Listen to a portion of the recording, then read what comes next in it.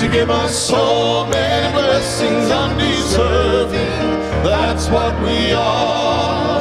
We ought to thank Him, love and praise Him a little more today.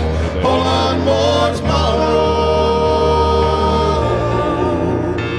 For 40 long years, God's people journeyed in the wilderness, searching for Canaan, that blessed promised land.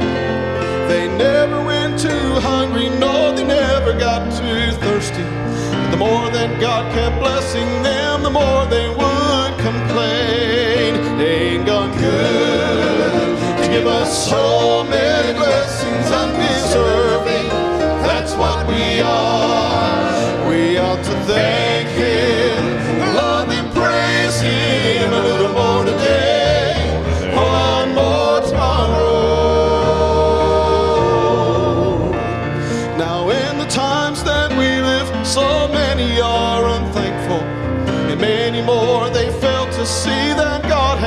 given all.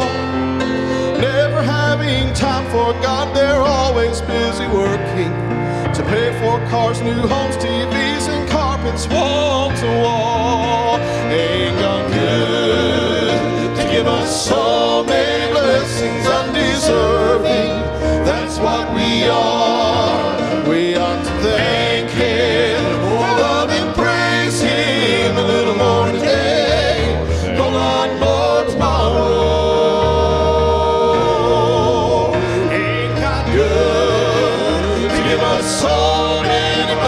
Blessings undeserving?